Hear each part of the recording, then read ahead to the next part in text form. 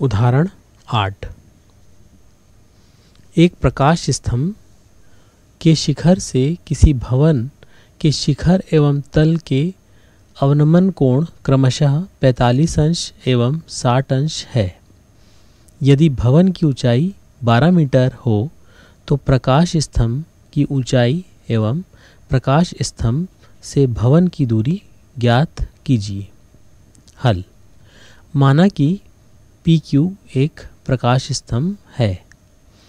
इससे x metre दूरी पर एक भवन ए बी है, जिसकी ऊंचाई 12 मीटर है।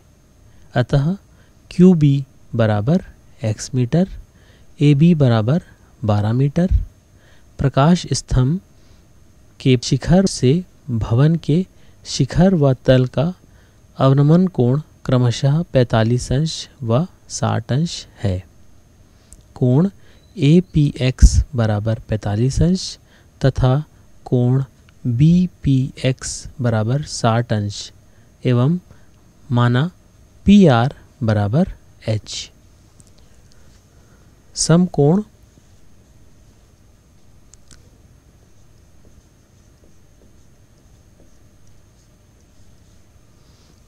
त्रिभुज पी आर ए में टेन पैंतालीस अंश हम लेंगे ऊपर वाले त्रिभुज में। टेन पैंतालीस अंश, लंब हमारा है पी आर बटा आधार आधार हमारे पास है आर ए त्रिभुज में। या टेन पैंतालीस अंश का मान एक होता है, हम जानते हैं, बराबर। पी आर के स्थान पे हम पी आर लिखेंगे और आर ए को हमने एक्स माना है तिरिया गुणा करेंगे तो पी आर का मान हमें प्राप्त होगा एक्स गुणा एक बराबर एक्स इसीलिए एच पी आर का मान एच है पी आर को हमने एच माना है तो एच बराबर एक्स हो गया। अब हम समकोण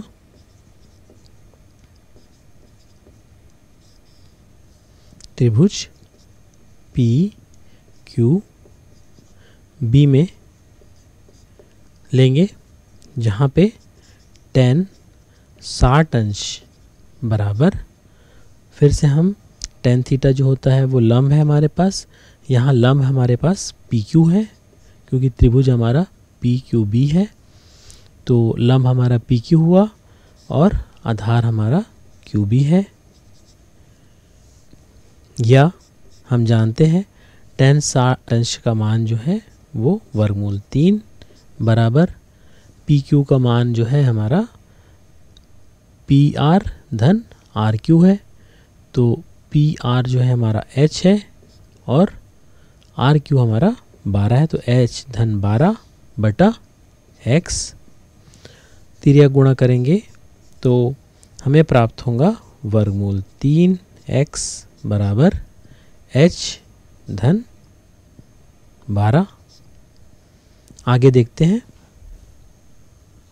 हमने ज्ञात किया था, वर्गमूल तीन एक्स बराबर एच, धन, बारह।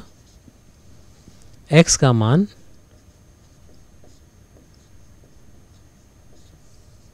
रखने पर एक्स का मान रखने पर हमें प्राप्त होगा क्योंकि x, h के बराबर है तो ये वर्गमूल तीन, x के स्थान पर हम h लेंगे, बराबर h धन बारह, या यहाँ पे हम h का पक्षांतर करेंगे तो वर्गमूल तीन, h ऋण, h बराबर बारह। h का उभयनिष्ठ निकालेंगे हम दोनों पदों से तो h कोष्टक में वर्गमूल तीन, ऋण एक, कोष्टक बंद बराबर बारह, या h बराबर वर्गमूल तीन ऋण एक का पक्षांतर करेंगे हम तो बारह बटा वर्गमूल तीन ऋण एक या एच बराबर बारह वर्गमूल तीन ऋण एक। यहाँ पे हम हर का परिमयीकरण करेंगे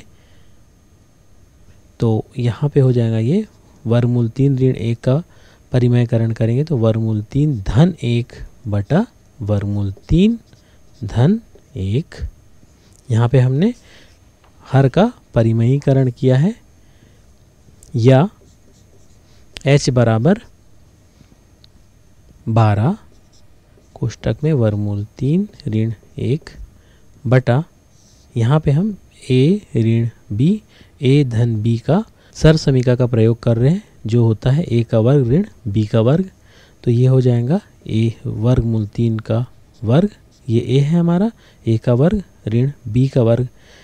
तो बी हमारा एक है इसका वर्ग। या आ, आगे देखते हैं अगले पृष्ठ पर। या एच बराबर बारह कोष्टक में वर्गमूल तीन धन एक बटा तीन ऋण एक। एच बराबर तीन में से एक को घटाएँगे तो दो दो एकम दो दो छक्के बारह तो यहाँ छः और कोष्टक में वर्गमूल तीन, धन एक, कोष्टक बंद ये एच का मान मीटर में प्राप्त हुआ छः कोष्टक में वर्गमूल तीन, धन एक मीटर। प्रकाश स्तंभ की ऊंचाई, प्रकाश स्तंभ की ऊंचाई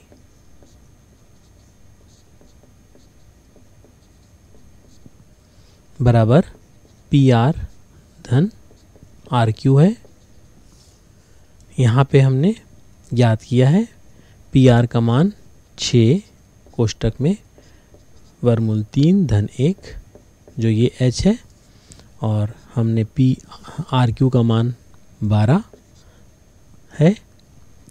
या कोष्टक को खोलेंगे हम तो छः वर्गमूल तीन, धन छः धन बारह, बराबर छः वर्गमूल तीन, धन अट्ठारह यहाँ पे हम दोनों पदों से छः को उभयनिष्ठ निकाल लेंगे तो कोष्टक में वर्गमूल तीन, धन तीन मीटर हमें प्राप्त हुआ प्रकाश स्तंभ की ऊंचाई।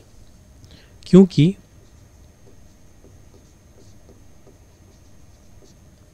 x बराबर h, इसलिए x बराबर छ कोष्टक में वर्मूल तीन धन एक मीटर है और प्रकाश स्तंभ की ऊंचाई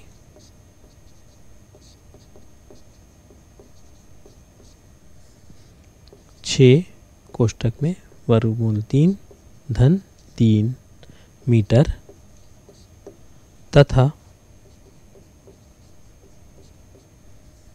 भवन की दूरी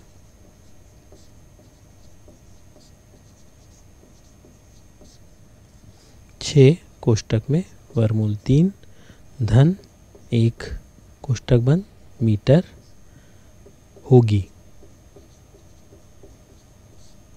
तो इस तरह से हमने प्रकाश स्तंभ की ऊंचाई ज्ञात की एवं भवन की दूरी भी ज्ञात की। तो यह इस उदाहरण का हल होगा।